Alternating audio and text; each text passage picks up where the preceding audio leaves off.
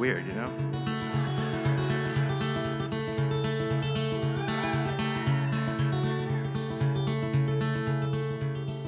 If this was the Cold War, we could keep each other warm. I said on the first occasion that I met Marie. We were crawling through the hatch that was the missile silo door.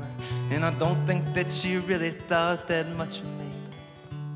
I never had to learn to love her like I learned to love the bomb. She just came along and started to ignore me. But as we waited for the big one, I started singing her my songs. I think she started feeling something for me. We passed the time with crosswords that she thought to bring inside. What five letters spell apocalypse, she asked me.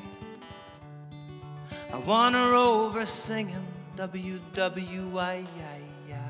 Oh, she smiled, and we both knew that she'd misjudged me. Oh, Marie, it was so easy to fall in love with you. It felt almost like a home of sorts or something. And you would keep the warhead missile silo good as new, and I'd watch you with my thumb above the button. Then one night you found me in my army issue cot, and you told me of your flash of inspiration. You said fusion was the broken heart that's lonely's only thought, and all night long you drove me wild with your equations. Oh, Marie, do you remember all the time we used to take? We'd make our love and then ransack the rations. I think about your leaving now and the avalanche cascades. My eyes get washed away in chain.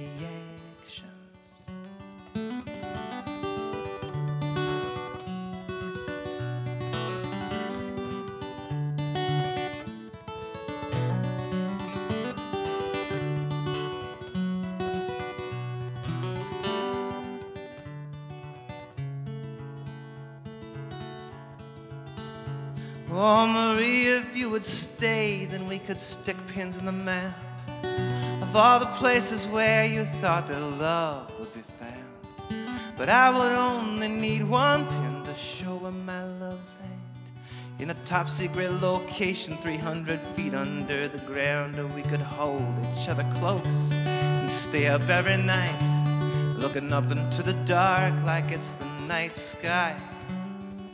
Pretend this giant missile is an old oak tree instead, and we'd carve our name and hearts into the warhead. Oh, Marie, there's something tells me things just won't work out above, that our love will live a half life on the surface. So at night while you are sleeping, I hold you closer just because. As our time grows short, I get a little nervous. So I think about the big one. WWIII. Would we ever really care if the world had ended? And you could hold me here forever, like you're holding me tonight. I think about that great big button, and I'm tempted.